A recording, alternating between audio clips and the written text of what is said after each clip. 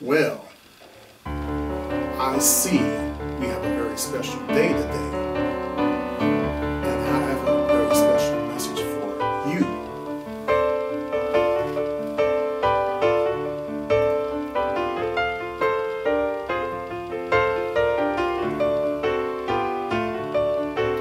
On this 21st day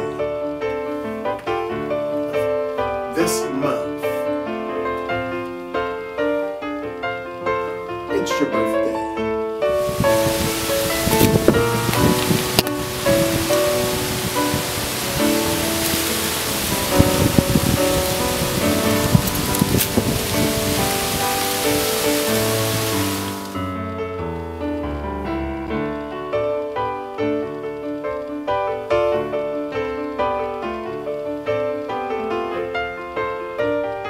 21st